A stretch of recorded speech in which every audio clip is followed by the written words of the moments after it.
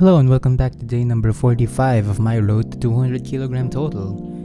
Now for today, it's a snatch day, so it's going to be a snatch plus two overhead squat. So again, something that I'm very much used to. I love doing volumes for squats, even though I just said a few two weeks ago that the triples were absolutely horrible. But uh, again, it's really easy to put in a lot of volume for the snatch rather than the like let's say the clean and jerk accumulating volume for that is just way too much at least in my case.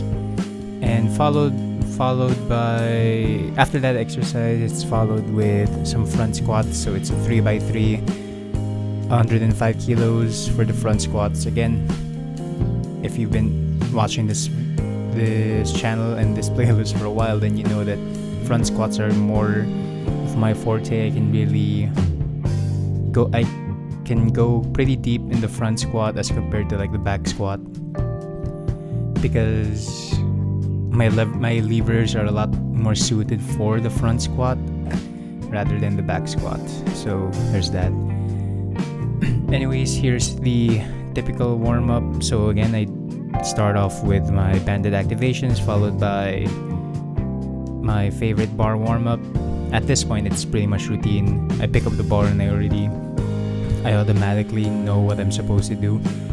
I think the difference though if you've already read the title for this assuming i don't change it is that i'm doing this workout the day after i got my second dose for my vaccine against the covid-19 virus and if i'm being very honest the side effects weren't that great I didn't have that much of a side effect. It was mostly just pain in my right arm, but I think that's mostly from the actual injection rather than the vaccine itself. So, well, that's not really that fair to say considering I pretty much slept the entire day yesterday after I got the vaccine.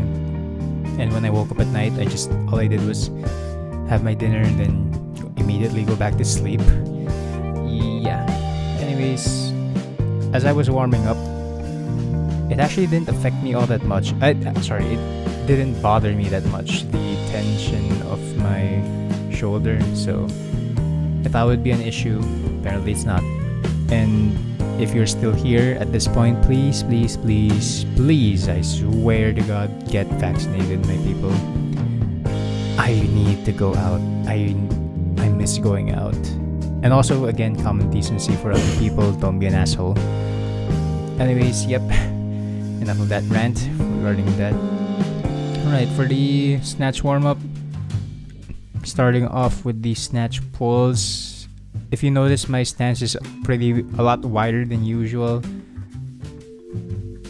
Uh, again, still, even though I said that I found my my stance with a wider, uh, with a wider, sorry, with a closer uh, feet, I found that it's that the toes going up is a lot more egregious with my feet that close together. So I had to make some adjustments because again you want that for a powerful drive you need to really connect with the floor and have that power that the full foot on the floor so that you can so that the force transfer from the floor through your legs is complete and it's a lot of people say it's for the balance. No, I'm pulling that one out of out of nowhere, but yeah, basically you just want that full you want that full foot on the floor when you're doing a snatch or the clean so that the transfer of energy is a lot better. Alright, so this is the first working set. It's pretty light though, 50 kilos, this was nothing. So I was really focusing a lot on the pull under, uh, finishing the extension as well as having that fast pull under. Yep, as usual first set, not my best looking set. These get and I usually get better as the sets go go along. So let's watch the second set. There we go, much better. Really getting that depth on that overhead squat. Third set with the wider stance. Perfect, there.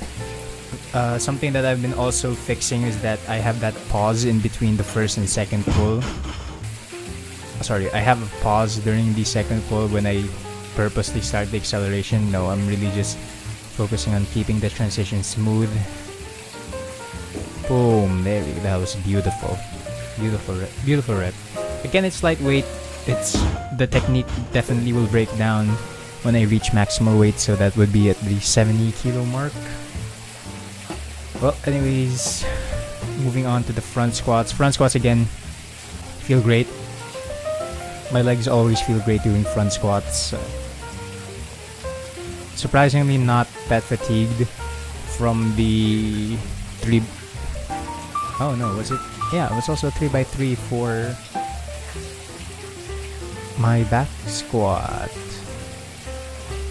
Oh, that's weird. Anyways, I'm fairly certain I got that wrong. I, I probably did 5x3. I don't really remember that much. I just remember the weight. So that was 125. This one is now 105, which is actually quite, which is usually the how my front squat and back squat ratio goes. My back squat is usually between 15 to 20 kilos above my front squat, but the, with the exception that my front squat looks a lot better than my back squat.